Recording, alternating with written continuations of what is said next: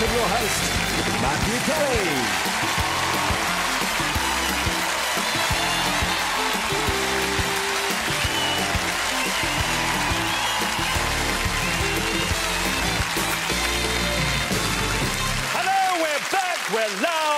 Loud, we're stars in their eyes. And for the next 10 weeks, we'll have the greatest musical lineups anywhere on the planet. We've toured the country trawling for talent. We've heard 428 Celine Dion's, 802 Elvis's, and one Noel from Hear'Say. As himself.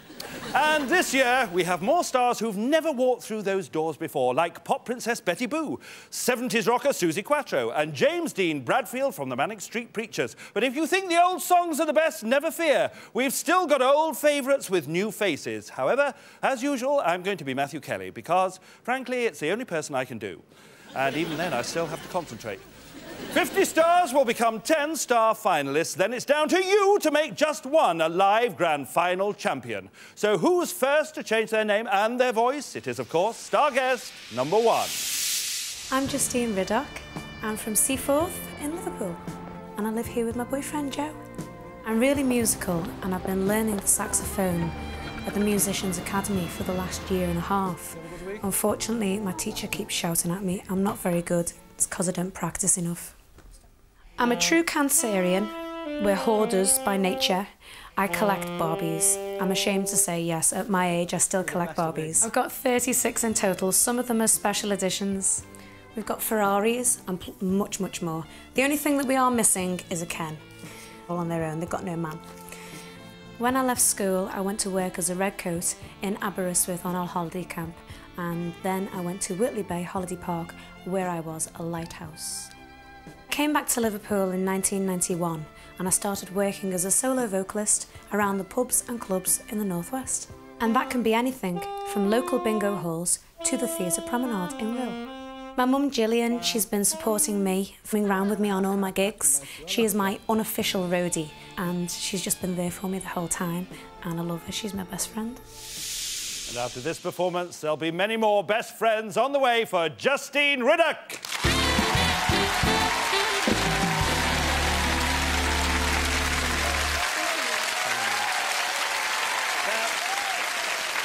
Justine is well used to singing alongside groups of superstars, aren't you? Oh, I certainly am. I once entered a karaoke competition. It was a sound-alike and a look-alike competition in a pub in West Derby. I entered as Cher, but I never won. But Elvis won. But Whitney Houston's mum was not impressed, and she decided that she was going to smack one of the judges. So she did that, and the next minute, all you saw was celebrities fighting all over the place. Well, we haven't got an Elvis here tonight, which will be good for our audience, as it turns out. So tell me about the person that you are going to be. Well, she was born in 1973 in Chicago. She went to school with Christian Slater and River Phoenix, and she's very, very famous for her 400 pairs of sunglasses. Tell us who you're going to be tonight, Justine. Tonight, Matthew, I'm going to be Anastacia. Anastacia! She really is Tonight, singing live, Justine Riddock is Anastacia!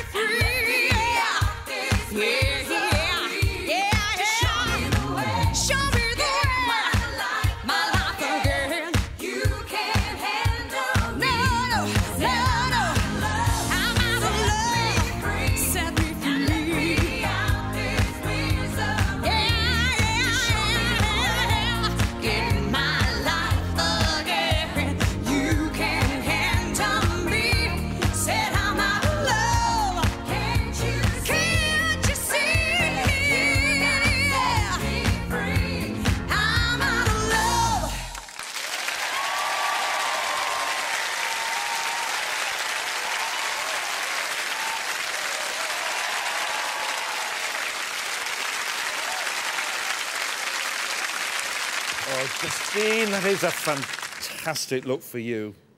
It really suits you. We love that look, don't we? Love the look. Actually, I'm going to tell you a little story about Justine because Justine's a perfectionist and she wanted to get this absolutely right. So she rang Anastacia's record company and said, I'm going to go on Stars in Their Eyes as Anastacia. Will you send me the video? And they didn't believe her. Tell everybody what they made you do. They made me sing a couple of lines down the telephone. And what did they do then? They all screamed and said, OK, you can have the video. they did. And that's from Anastacia's people, and that's how good it was. Ladies and gentlemen, Justine Riddick as Anastacia! Before that, Soul Star came along. The name Anastasia was associated with the Russian Revolution when the ordinary working man became a hero of the masses. Our next star is a working class hero who'll make a revolutionary change for star guest number two. My name is Chris Brookman, and you could say I'm from all over, really. I was born in Cambridge originally, but spent many years growing up in Europe, thereabouts, and I've ended up here in Manchester.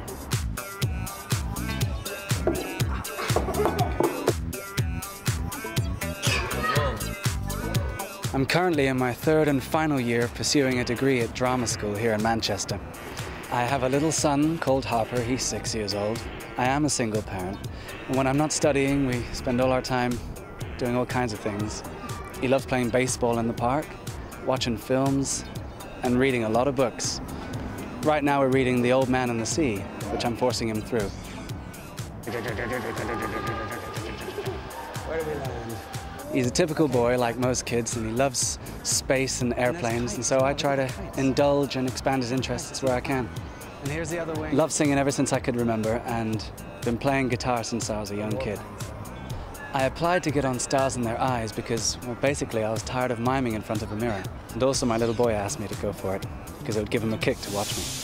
And here to kickstart a superstar is Chris Brookman.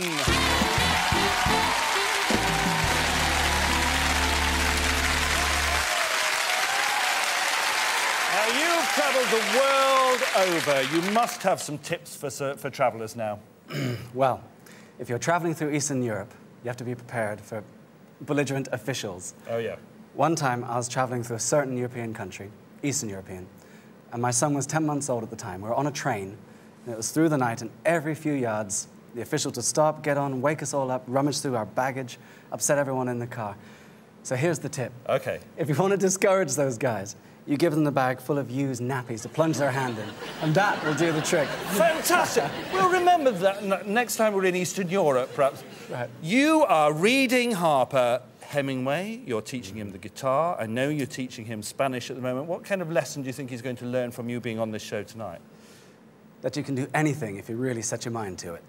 That is a top tip as well, and that's an attitude that you share with the person that you're going to be. Yeah, the, the person I'm going to be started out his career in the smallest gigs, living out of a suitcase, crisscrossing the US, playing every little show like it was his last, until finally people began to respect him as he believed in himself. And they certainly did respect him. Mm. Tell me a bit more about him. Well, he started out as a folk singer-songwriter. He won the 1993 Best Song Oscar, mm-hmm. and he's known to his fans as the boss. Tell us who you're going to be tonight, Chris. Tonight, Matthew, I'm going to be Bruce Springsteen. Bruce Springsteen! Born in Cambridge via the USA. Tonight, singing live, Chris Brookman is Bruce Springsteen!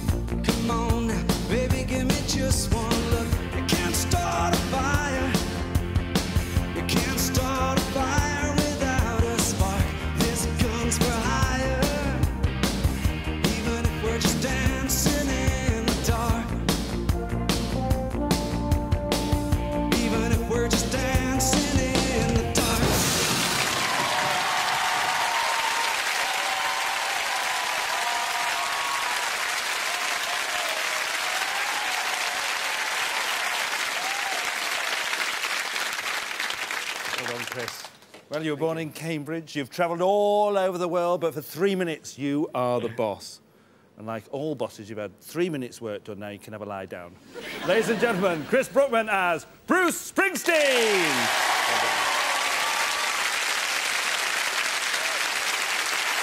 Bruce Springsteen was known as the boss, and down Holmfirth Way, our next star guest is known as the commercial manager. He's just minutes away from taking the stage as a former member of a group called Oasis. But he's not a Gallagher brother. Now that's got you thinking. I'll see you in a mo.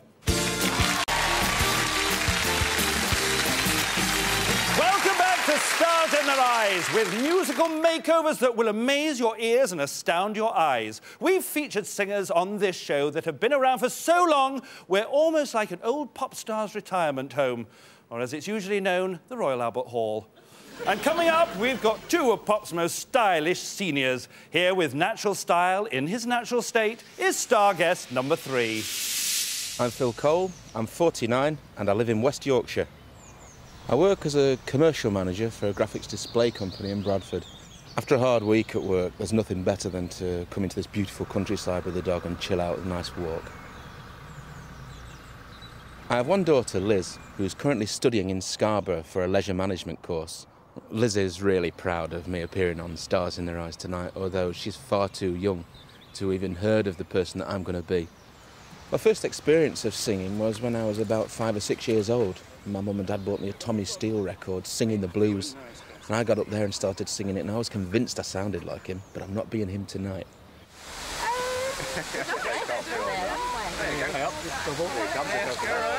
I've sung in public many times, mainly with amateur operatic societies, but also with the choir that I'm with. But I don't think that's going to compare in any way to performing in front of millions of people on television. It's really scary. From the towpath to the showpath, here's Phil Cole.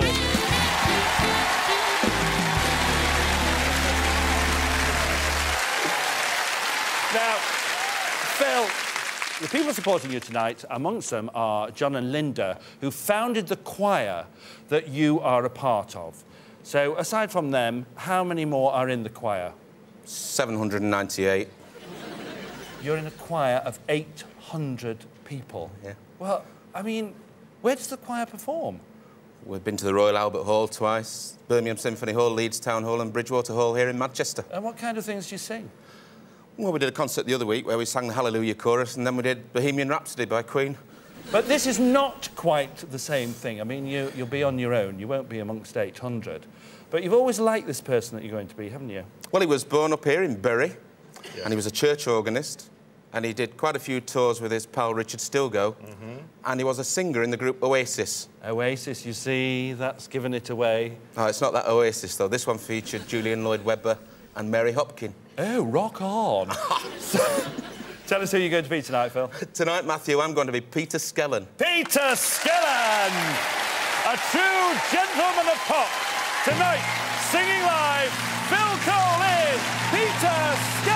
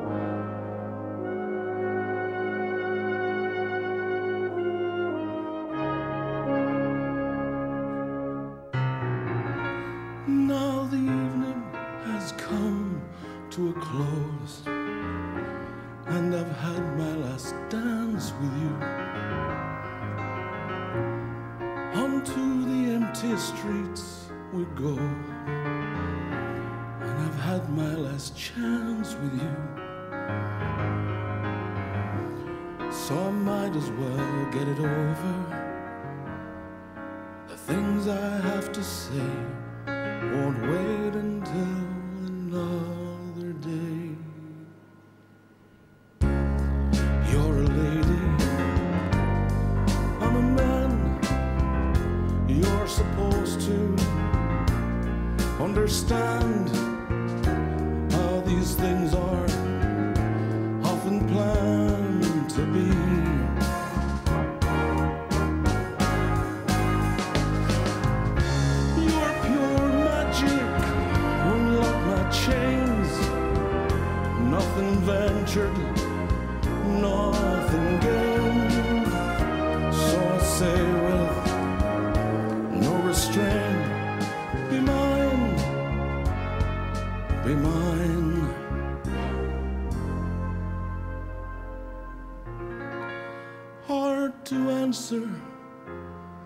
yes, I agree. But then I've got to know.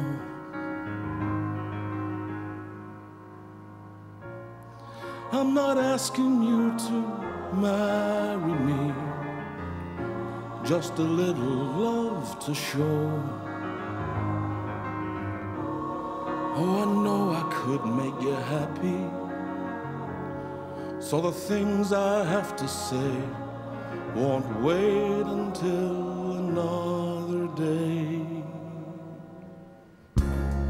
You're a lady, I'm a man. You're supposed to understand how these things are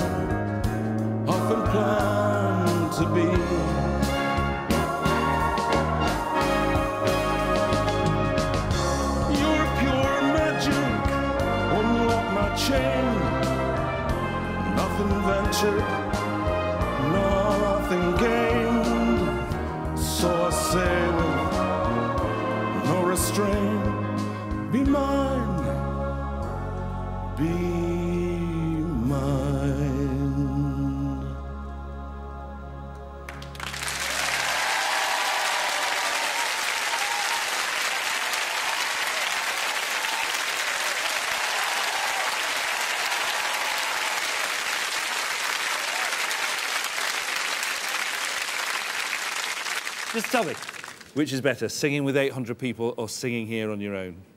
Singing here on my own, it's cheaper. Oh, well, I expect 799 people to be following your lead after this. Ladies and gentlemen, Phil Cole as Peter Skellern thank you, Phil.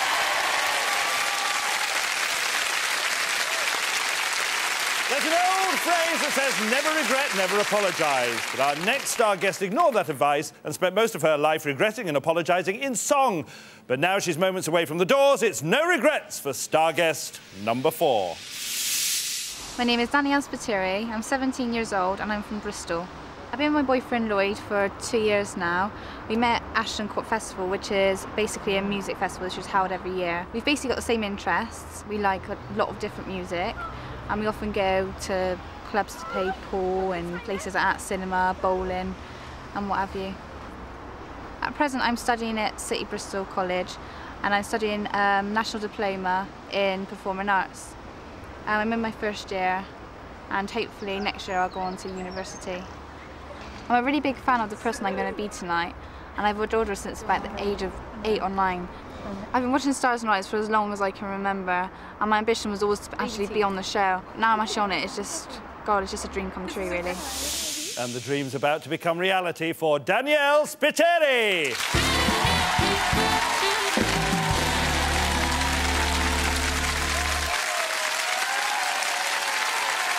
So, you did say you're a huge, huge fan of this star, even though you were born 30 years after this star had her first big hit. How did that happen? Well, my mum and dad had a 50s theme room, and um, they also bought me a lot of 50s albums, like um, Connie Francis and The Person I'm Going to Be Tonight. Okay, and that's where it all started. Yeah. And I know that when you were 10 years old, your mum and dad took you to a concert of this person. Yeah. And something very unusual happened there, didn't it? It did. What happened? Um, well, basically, I was sat in the audience minding my own business, and um, she looked up and said, "Oh, is there anyone out there by the name of Danielle Spiteri?" And I was like, "Oh my God, that's me." and um, she said, "Well, I'd like to invite you up on the stage." And you went on stage with this big star. And what did she say when you got there? She said, "What song would you like to sing?" And I said, "The song," and we we sang it together. You sang a Yeah. duet with this lady. And how did it go? It went okay, except from the fact that she was singing the 60s version and I was still stuck in the 50s. So tell us a bit about her. She's actually the biggest selling teenage vocalist of all time, and she's been in the Country Hall of Fame since 1997. And what was she known as? Little Miss Dynamite. Little Miss Dynamite. Yeah. Tell us who you're going to be tonight, Danielle. Tonight, Matthew, I am going to be Brenda Lee. Brenda Lee! Regrets she's had a few.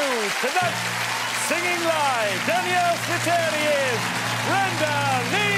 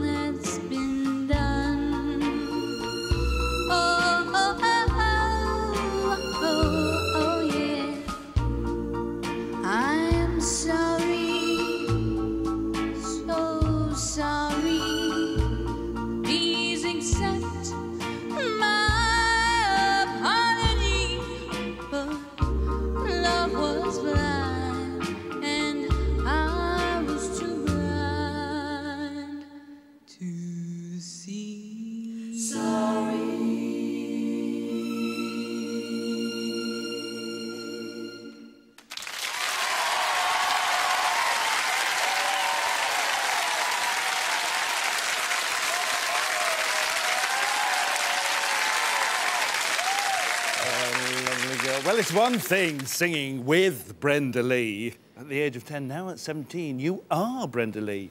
Thank you, Mum and Dad, for having that themed 50s room because now we've just had a themed 50s studio. It was so accurate as well. Thank you. are a great girl, you. Ladies and gentlemen, Danielle Spiteri as Brenda Lee.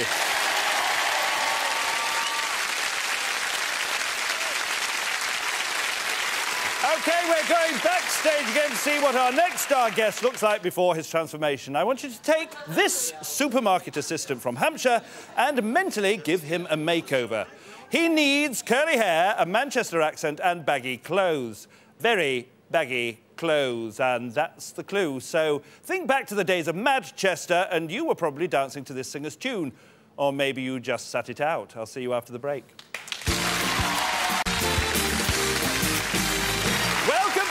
Stars in Their Eyes. Do you remember the Gap Band? They once had a song called Oops Upside Your Head. And to dance to it, you had to get on the floor and pretend to row a boat. And you could spot their fans a mile off by the stale beer and fag ends stuck to their pants. Only one other singer and song encouraged such behaviour, and that singer and song comes courtesy of star guest number five. My name's John Terza, I'm 20 and I'm from Havant in Hampshire.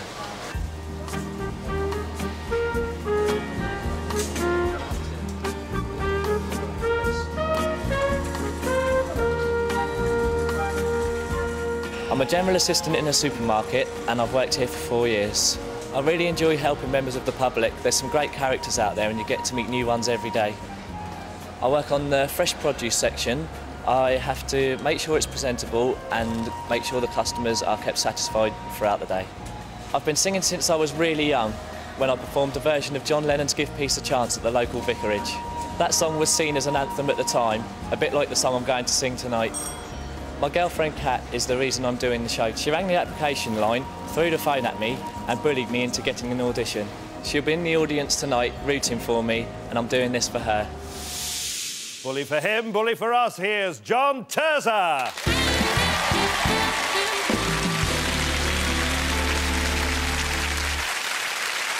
Now, John, the Fates have played a big part in you being here tonight. Tell me how. Well, um, 20 years ago, my nan went to see a clairvoyant, and the clairvoyant told her that in, in the future, a member of her family would appear on a musical TV show. Did you come from a musical family? Uh, no, not at all. My brother started playing the bass guitar about two years ago. Um, he wasn't a very good, and he used to film himself in the bedroom, hoping that he would be the one who was going to be on TV. And did he get on? Uh, no, he didn't. Um, when we heard that I was going to be on Stars in Their Eyes, we realised that the clairvoyant was talking about me. But Andrew supports you, though, doesn't he? Yeah, I didn't think he would at first, but as time's gone on, he's got really behind me. And when I found out I was going to be on the show, he found more people than I did, probably just to say that he was going to be in the audience. Good for you, Andrew. Tell me about the person you're going to be tonight. OK, his band was around in the Manchester era, um, in the early 90s, along with the Stone Roses and the Happy Mondays. The song that I'm singing tonight did have a dance, but it wasn't really a dance. It wasn't a proper dance. No. And what was his trademark? His trademark was a blue background with a big yellow flower. Tell us who you're going to be tonight, John. Tonight, Matthew, I'm going to be Tim Booth of James. Tim Booth of James! Make yourselves comfy as tonight. Singing live, John Terza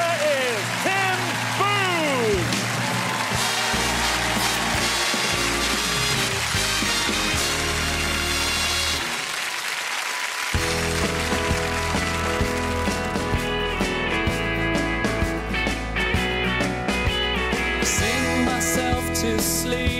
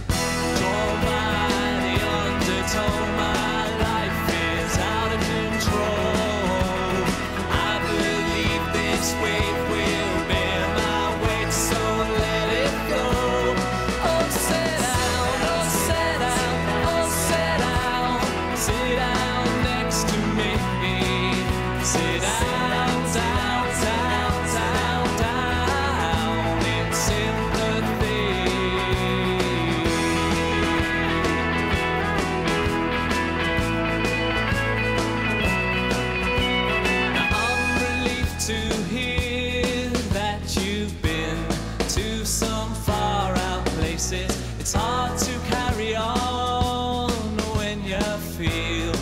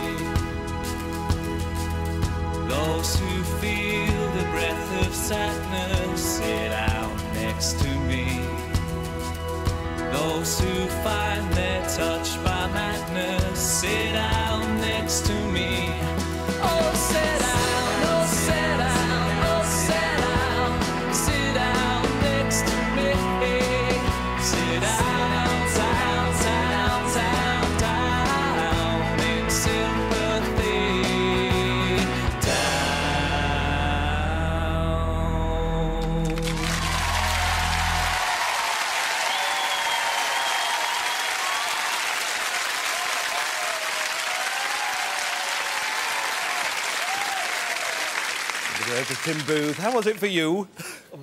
Oh, Nerve-wracking. nerve-wracking.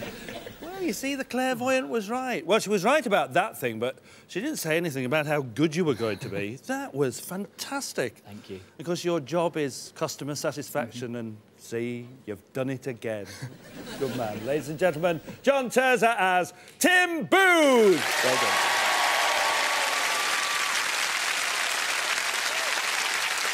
Well, we've heard the songs and admired the makeovers. Now it's the holy duty of our studio audience to turn one of our star guests into a live grand finalist. They're voting for the best sound alike, not the best look alike. So, studio audience, cast your votes now.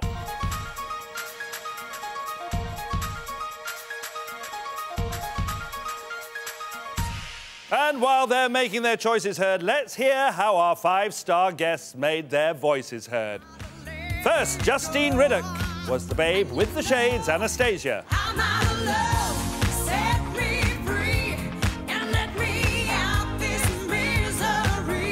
Chris Brookman was the boss man, Bruce Springsteen. This gun's for hire, even if we're just dancing in the dark. Phil Cole was Mr. Ladies Man, Peter Skellern. You're a lady, I'm a man. You're supposed to understand. No apologies, Danielle Spiteri was Brenda Lee. I'm sorry, so sorry that I was such a fool. And finally, John Terza gave us the word, according to James, as Tim Booth.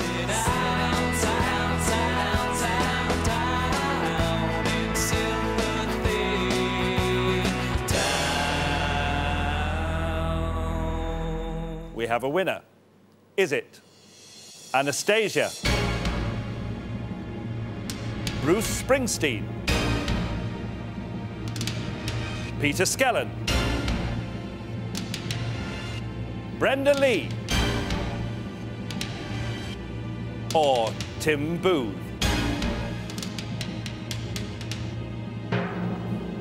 And the winner is Anastacia!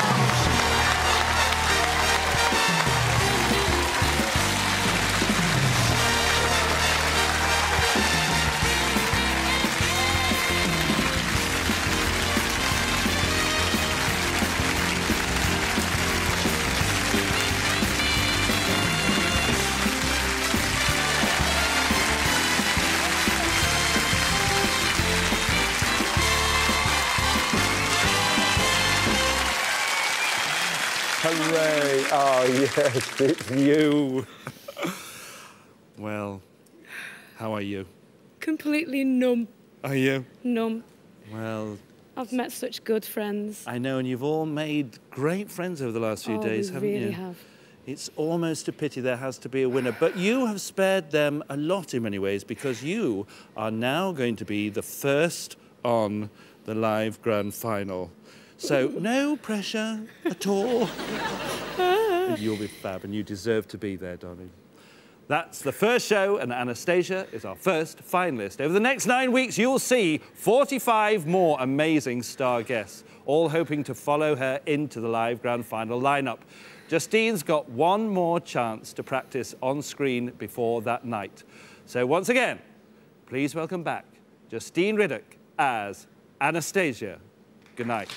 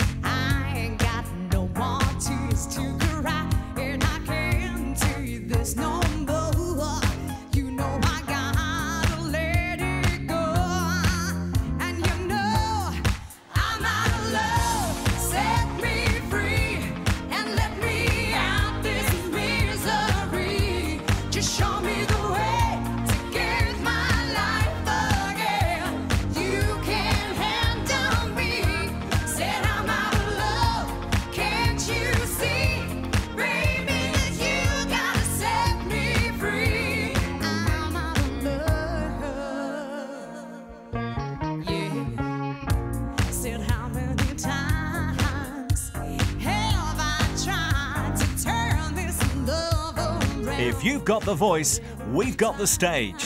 For details on how you could be walking through those famous doors on the next series of Stars in Their Eyes, phone 0870 600 1020. that you can